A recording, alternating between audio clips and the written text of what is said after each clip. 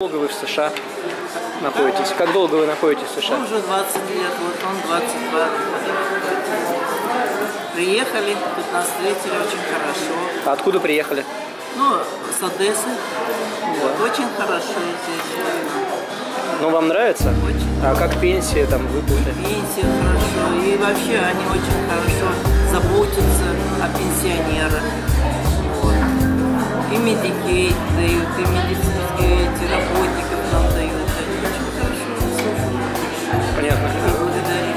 Что бы вы пожелали вот людям, которые сейчас в России и хотят... э, Дай Бог такой старость, как у нас. Понятно. Спасибо Дай большое. Бог здоровья и такой старости. Спасибо большое.